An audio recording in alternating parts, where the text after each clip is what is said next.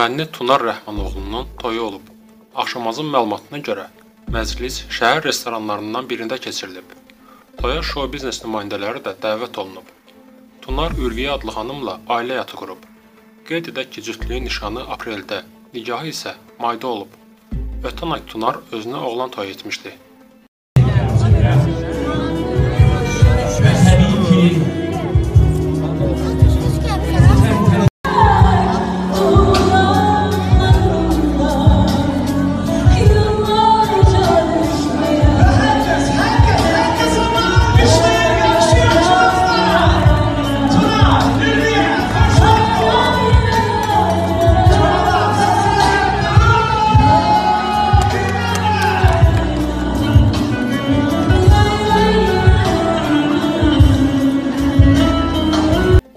Nadir Qafarzadə ailəsi ilə yeni fotosunu paylaşıb. Axşamazın məlumatına görə şəkildə sənətçinin həyat yoldaşı Sevinç xanım və oğlu Əziz yer alıb. Qafarzadə fotoya ailə məclisində şərhini yazıb. Qeyd edək ki, Nadir Qafarzadənin Sevinçlə olan nigahından iki övladı var. Onun oğlu Əziz Rusiyada təhsil alır. Azərbaycanın daha bir məşhur müğənnisi subaylığın daşını atır. Qafqazın fonu verdiyi məlumata görə 28 yaşlı meyxanaçı Üzeyir Mehdizadə ailə həyatı qurur. Məlumata görə toy iyulun 1-də Bakının məşhur restoranlarından birində baş tutacaq. Məclisdə ancaq kişi qonaqlar iştirak edəcək. Bozbaş Pictures-in şirini aktyor Nicat Rəhimov xanımı Ülviyəni doğum günü münasibəti ilə təbrik edib. Axşamazın məlumatına görə Nicat şəkli ad günün mübarək, mənim hər şeyim qeydi ilə Instagram səhifəsində yerləşdirib. Qeyd edək ki, cütlük ötən ilin dekabrında ailə həyatı qurmuşdu.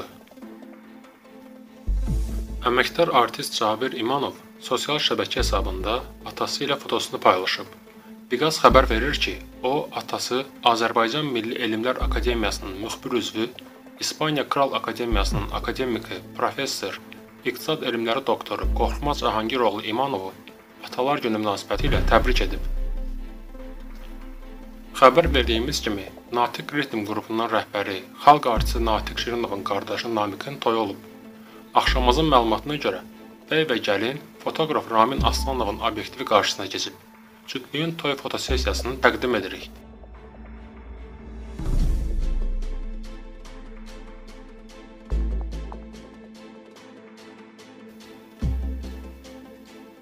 Xəstəlik pis şeydir. Allah heç kimə göstərməsin.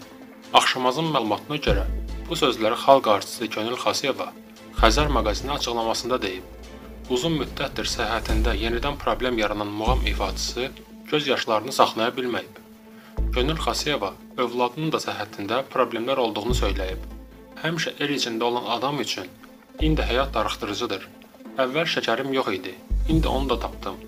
Həm də asmadan əziyyət çəkirəm. Tək arzum övladım Kazımın toyunu görməkdir. İki əməliyyatım var qarşıda. Bu yaxınlarda girəcəm. Aparıcı Vüsalə Əlzadə fotokamera qarşısına keçib. Axşamazın məlumatına görə o modelyer dizayner Şəlalə Maqsudovanın Danışan Kağızlar adlı layihəsində yer alıb. Şəlalə Maqsudova bu dəfə kağızlardan hazırladığı libasları layihə çərçivəsində nümayiş etdirib. Dili olmayan gözəlliklər dillənir. Canı olmayan əşyalar yaradıcılıq nəfəsimdən nəfəs alıb canlanır. İstədim bu dəfə kağız libas olsun deyə modelyer bildirib. Danışan kağızları fotoqraf Araz Bağırov lentə alıb. Vüsalənin stili üzərində isə Nərmin İbrahimova çalışıb. Müğənni Günel Zeynalova maşın şouya qatılmaqdan imtina edib. Axşamazın məlumatına görə o bu haqqda ondan sonra verilişində deyib.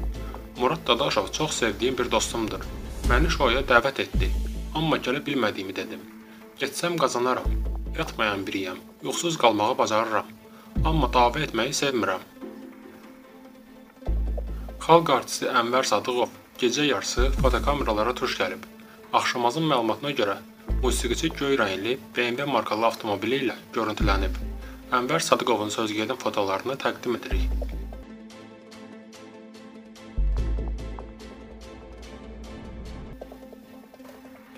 Azərbaycanlı müğənni Afaq Aslan növbəti dəfə səsküyə səbəb olacaq açıqlamalar verib. Baku Dables xəbər verir ki, müğənninin qonaq olduğu ARB TV-nin Düz Bazar proqramında maraqlı anlar yaşanıb. Afaq Aslan verilişdə onu tənqid edənləri şiddətlə qınadığını deyib. Elə qadın var ki, bədəni gözəldir, lakin o qədər qapalı geyinir ki, sən onun həyat tərzinə baxsan, qadınlığından nifrət edərsən.